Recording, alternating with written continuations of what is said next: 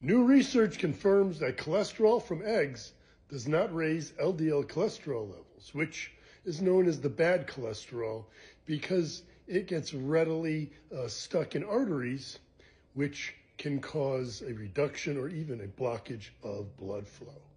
Australian researchers had middle aged men and women follow three different diets for five weeks that were all similar in daily calorie intake. Group one followed a high cholesterol, low saturated fat diet that provided 600 milligrams of cholesterol per day and 6% of total daily calories from saturated fat, with two eggs eaten every day.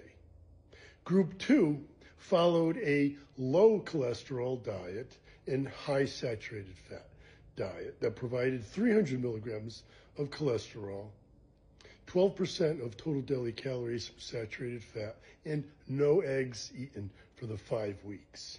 And group three followed a high cholesterol diet and high saturated fat diet that provided 600 milligrams of cholesterol per day, 12% of total daily calories from saturated fat, and one egg eaten per week. They reported in a 2025 issue of the American Journal of Clinical Nutrition that after the five weeks, only group one, who was eating the high cholesterol, uh, low saturated fat diet, and two eggs per day, saw a reduction in LDL levels, while group two and three, who were eating either a low cholesterol diet or even a high cholesterol diet, but most importantly, both were eating a high saturated fat diet, saw an increase in their LDL levels.